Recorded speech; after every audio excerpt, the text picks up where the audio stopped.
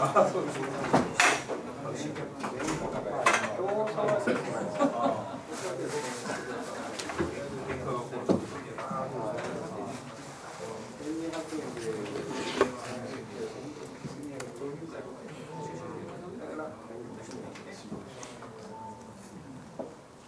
これもうお揃いな感じですか、はい、あそうですか。じゃあ後半いきます。またよろしくお願いします。じゃあほんであのさっきのあの、まあ、新規事業で既存事業のキャッシュを安定させなあかんという話で終わりましたけどあのこまさにねあのこう戦略の本当急所だと思うんですよね。でっていうのはあのまあ戦略ってさっきねいろんなもの省いていくこと自体が戦略みたいな話してましたけど本当に省かなかんのは戦いなんだよね。本当に省かなかんのは競争なんですよ。で全く歯向かってくるやつおらんという状態にするのは難しい。けどなんか競合が出た時に、まあ、3ヶ月半年のうちにあやっぱり勝てないなと言って消えていくという状態を作れば、あの、当たり前のように、えー、キャッシュなんて安定するじゃないですか。でその急所は何かっていうとまあ明らかに市場シェアだよね、うん、マーケットの河川、まあ、できれば7割とか自社で持つという状態っていうのがもう戦略の急所中の急所なんです。であのー、僕はちょっと何年か前にすんげえこの話面白いなって思ったのが加山さんのフェイスブックかを見てた時にその記事が載ってて日経ビジネスかなんかの記事が載ってて日本の資産家という記事が載ってたのを加山さんが紹介してたんですよ。僕あの本にかなり衝撃を受けたんですけどあのまあ、日本人の資産家と呼ばれる人たちの中で最も数が多いのがあの中小企業の社長なんですよ。オーナーさんなんですね。で2番手が医者なんですよ。でまあ圧倒的に多いのが中小企業のオーナー社長さんなんですけどその中でもあの圧倒的に多いのが日地製造業のオーナーらしいんです日地製造業って何かって言いますと,、えー、っと年商3億円以下。要はその市場規模が3億円もないぐらいのマーケットの部品を作ってる会社と。っていうのは大手の製造業の人たちが3億円の売り上げを取るに来ないんですよ。効率が悪いじゃないそのためにわざわざ。でだから中小企業の親父さんたちがそのニッチな部品を作ってその市場を独占してる親父さんたちが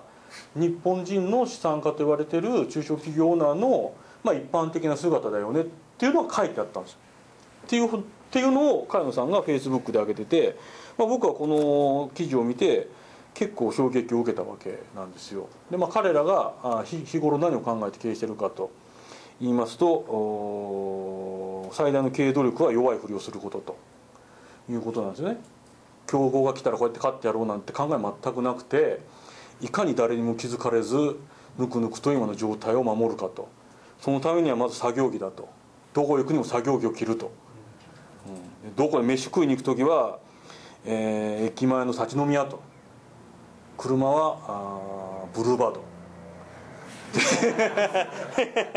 まあカローラでもいいんだけど。カローラがブルーバード乗ると。で工場はボロボロと。外外目にはボロボロと。決算書見るとピカピカと。いうのが、まあ、あのそういった姿で、まあ、まさにあの競争に打ち勝ってやろうなんていうことは1ミリも考えてないわけ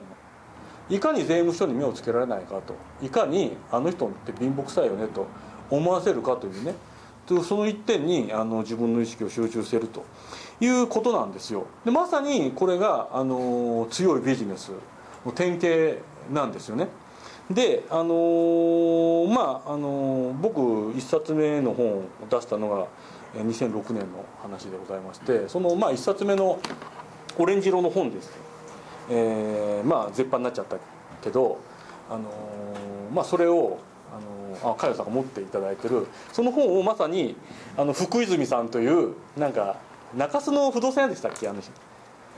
福泉さん。店舗デザイナー。店舗デザイナー。これこれこれでこれこれのさあの前福泉さんが見つけてくれて茅野さんにこう渡してくれて、まあ、さんは僕のこと知ったっていうあのプロセスなんですけどあのこれなんかねあの絶版なんですけどいまだなんかアマゾンでレビュー書くやつとかいるんですよで僕悪口言ったやつおらんかってたまパトロールしてんのよセルフ セルフパトロール。でなんかなんかコメントが増えてるわけよ。で1冊目の本を今年のなんか入ってからコメント書いてるやつがいたの。もう絶版になってんのよ。今だこんな本読むやついると思って読んでたらなんかみんな5点満点つけてるけど多分やらせじゃねえぞと。1年に1回出会える素晴らしい本だみたいな書いてあるんですよ。だけどこの冒頭の僕がこういう風だって言ってることもすでに間違ってるの。かわいそうだなと思って。そこまで崇拝して読んでても中身が間違ってる。で何が間違ってるかっていうと僕がそのこの本の中でねでかいマーケットで大手の河川の緩い市場を狙えということをすごく力強く言ってるわけよ。でもその発想がもうダメだと